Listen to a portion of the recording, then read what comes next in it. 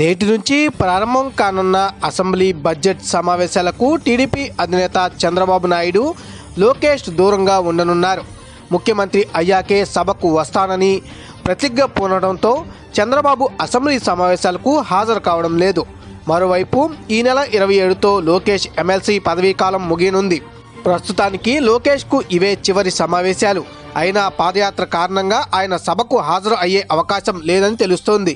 Local వార్తల వీడియోల కోసం పబ్లిక్ వెబ్ యాప్ డౌన్లోడ్ చేసుకోండి.